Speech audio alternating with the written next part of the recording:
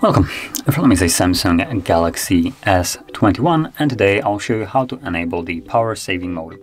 And to get started, let's pull down the notification panel and look for the power saving mode, which is for me right over here.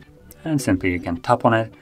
As you can see, it will drop the max brightness a little bit. Now it will also do additional things that it doesn't actually disclose here.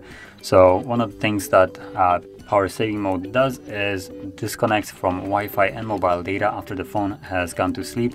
So when it's not being used for a couple minutes, it kind of goes into this idle sleep mode and disconnects from basically anything that isn't really needed at this moment. And Wi-Fi and mobile data is one of those things. And the result of this will be that if you have some kind of app that will be requiring uh, internet connection to give you updates, uh, for instance, Facebook, uh, Twitter, stuff like that, uh, it will basically not give you any kind of messages that someone was writing to you uh, as long as you don't actually interact with the device. So as an example, if you for instance lock it right now, it disconnects after a minute or so and you basically won't be notified about anything because the phone is basically disconnected from net. Um, and then when you wake it up again, it's going to automatically reconnect and then fetch all those, uh, all the data that it didn't fetch when it was uh, idling. So that is how you enable it and also what the consequences of it are.